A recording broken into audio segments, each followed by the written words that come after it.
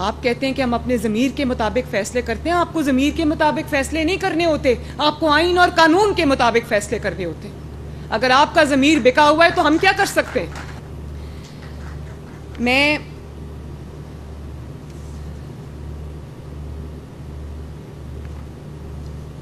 आज एक और बात करना चाहती हूँ। ये जब मुल्क स्टेबलाइज होने लगता है जब इस मुल्क में आवाम की ज़िंदगी में बेहतरी आती है, तरक्याती काम होने लगते हैं, महँगाई कम होने लगती है तो किसी ना किसी को उसकी तकलीफ़ शुरू हो जाती है। पता नहीं कौन सी ऐसी नज़र है जो इस मुल्क को लग जाती है। चंद अफराद का एक टोला बैठकर कोई ऐसे फैसले कर देता है, जिससे तरक्की का जो अमल है, या वो रुक जाता है, या वो रिवर्स हो जाता है। अभी आपने देखा होगा कि स्टॉक मार्केट 82,000 पे पहुँची। 82,000 पे ये बिला वजह नहीं होता। ये एक सेंटिमेंट होता है मार्केट में जिसमें लोगों का एतमाद होता है हुकूमत के ऊपर कि ये हुकूमत कुछ ऐसे फैसले कर रही है जिससे इकोनॉमी में बेहतरी आ रही है जिससे चीज़ों के अंदर बेहतरी आ रही है आवाम की ज़िंदगियों में बेहतरी आ रही है।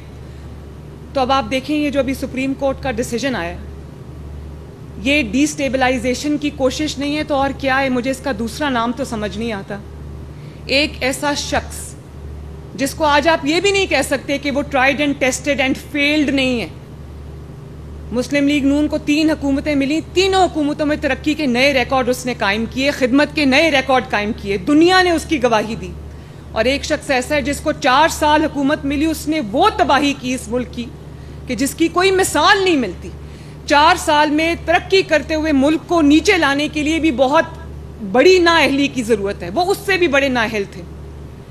आज जो हमारे हालात हैं मुल्क की इकॉनमी के आज जो हमारे हालात हैं आवाम के ऊपर जो तकलीफ़ें आई हुई हैं ये उसी चार साल का नतीजा है जिसके अंदर आईएमएफ को तो नवाज़ शरीफ ने आ, वो प्रोग्राम सक्सेसफुली ख़त्म करके उसको खुदाफिज कह दिया था वापस आईएमएफ को लाने वाला कौन है?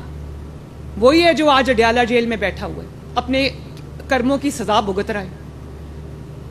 तो मैं हैरान हूँ जब आज जब ये सुप्रीम कोर्ट का डिसीज़न आया, जिसमें उन्होंने वो कुछ भी अता कर दिया जो मांगा ही नहीं गया था उनसे। सुप्रीम कोर्ट के उन जजेस ने आइन को रीराइट किया है। आइन क्या कहता है? आइन और कानून कहता है कि आप फ्लोर क्रॉसिंग नहीं कर सकते। और सुप्रीम कोर्ट के इन जजेस का डिसीज़न कहता है कि आप फ्लोर क्रॉसिंग करें। यानी कि जो पहले एफिडेविट आपने जमा कराया है, वो नहीं, हमारे पसंद का नहीं है। हमारी पसंद की जमात को ज्वाइन करेंगे तो बात बनेगी। मैंने तो इस तरह की कभी एक उमर अता बंदयाल साहब ने आइन को रीराइट किया था। एक मैंने अब देखा है कि आइन और कान, एक जमात को फेवर करने के लिए, एक हारे हुए शख्स को फेवर करने के लिए, जो आज कौम का मुजरिम है, कौम की जो आज तक जो तकलीफें हैं, जो मुसीबतें हम पर आई हुई हैं, बतौर मुल्क और बतौर काम, वो उसका उसका जिम्मेदार है। आप देखें उसको लाने के लिए आइन को रीराइट कर रहे हैं। मैं तो मतलब अकल नहीं मानती इन फैसलों को, अकल नहीं मानती इन चीज़ों को, कि ये तो उनसे तहरीक इंसाफ ने मांगा भी नहीं, वो जो उनको मिल गया है। ट्रे में रख के पेश किया उनको, और उनको कहा है कि पंद्रह दिन के अंदर अंदर तहरीक इंसाफ ज्वाइन करो, वो तहरीक इंसाफ जो बतौर जमात पार्लियामेंट में एग्जिस्ट ही नहीं करती। वो अल्लाह ताला को हाजिर नाजिर जानकर एक एफिडेविट जमा करा चुके हुए हैं। उनको कहा गया कि नहीं, वो एफिडेविट ठीक नहीं है, तरीके इंसाफ को ज्वाइन करो। मुझे तो इंसान की अकल दंग रह जाती है कि ये कौन है जिनको आज मुल्क की तरक्की, मुल्क आगे बढ़ता हुआ अच्छा नहीं लग रहा और उसके लिए वो आइन को रीराइट कर रहे हैं। बड़ी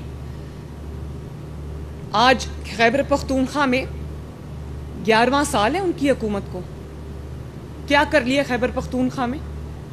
पाकिस्तान का चार साल में जो बेड़ा गर्क किया है, वो खैबर पख्तूनख्वा में ग्यारह साल हो गए हैं। एक सड़क आपको नज़र नहीं आएगी, एक काम आपको नज़र नहीं आएगा। यकीन माने, खैर, अभी मैं गई हुई थी खैबर पख्तूनख्वा, ये जो दो छुट्टियाँ थी तो मैं हैरान रह गई। जहाँ पंजाब ख़त्म होता है और खैबर पख्तूनख्वा शुरू होता है, वहाँ पर तरक्की ख़त्म होती है और तनजली शुरू होती है। तकलीफ़ होती है देख के। खैबर पख्तूनख्वा मेरा सूबा है, मेरा मुल्क है। उसके अवाम भी, पाकिस्तान के अवाम है। तरक्की उनका भी हक है। अच्छी ज़िंदगी उनका भी हक है। लेकिन नाअहली आप देखें, सिर्फ़ सियासी नारेबाजी, सिर्फ़ बदतमीज़ी बद तहजीबी ना अहली, ना लाइकी और अपनी फ़राइज से बतौर सियासी जमात, अपने फ़राइज से मुजरमाना गफलत इसके अलावा और है क्या इनके पास? और अगर एक हकूमत आ गई है, जो मुल्क को बुरान से निकाल रही है, इकॉनमी को स्टेबलाइज कर रही है, आवाम की तकालीफ दूर करने के लिए दिन रात मेहनत कर रही है तो मैं सुप्रीम कोर्ट के जजेस से ये अर्ज़ करना चाहती हूँ कि चलने दो इस मुल्क को। जिस शख्स को आप वापस लाना चाहते हो, वो शख्स इस कौम का मुजरिम है। आपके लिए हम इतना आसान नहीं होने देंगे। इन ताला ये हुकूमत पाँच साल पूरे करेगी।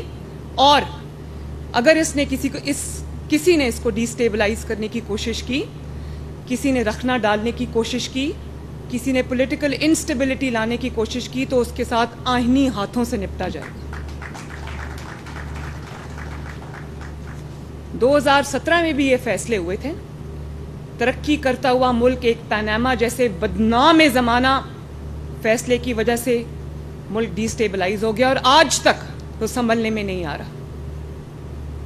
तो खुदारा इस मुल्क पे रहम करें, इस कौम पे रहम करें। और मैं आवाम को भी कहूँगी कि इस तरह का जो भी फैसला आता है, हमें उसको ध्यान से देखना है कि इसके पीछे महरक़ात क्या हैं, इसके पीछे वजूहत क्या हैं। आप कहते हैं कि हम अपने ज़मीर के मुताबिक फ़ैसले करते हैं, आपको ज़मीर के मुताबिक फ़ैसले नहीं करने होते, आपको आइन और कानून के मुताबिक फ़ैसले करने होते। अगर आपका ज़मीर बिका हुआ है तो हम क्या कर सकते हैं? यहाँ पर ज़मीर के मुताबिक फ़ैसले नहीं होते, यहाँ आइन और कानून के मुताबिक फ़ैसले होते। हैं और जहाँ आप अपने ज़मीर के मुताबिक फ़ैसले करते हैं, जो कहीं लिंक्ड होता है तो आइन और कानून का कत्ल होता है। और ये मुल्क की हालत होती है जो है। आप जिम्मेदार हैं मुल्क की इस हालत के। तो मैं आवाम से ये रिक्वेस्ट करना चाहूँगी कि अपनी आँखें और कान खुले रखें, अपने दोस्त और अपने दुश्मन को पहचानें। बहुत हो गया, छिहत्तर साल हो गए हम इन्हीं चीज़ों में उलझे हुए। अब ये मज़ीद ना बर्दाश्त होगा और ना करना चाहिए। एक जमात जिसका काम फितना फैलाना है, इंतशार फैलाना है, लड़ाई झगड़ा करना है, गाली गलोच करना है, पता नहीं वो किधर से लॉन्च हुए में किधर से उनको पैसा आता है? आप देखें, कभी मुल्क के लिए बात नहीं करेंगे। करेंगे तो गालम गलोच करेंगे, बदतमीजी करेंगे, चाहे वो पार्लियामेंट हो या पार्लियामेंट से बाहर हो।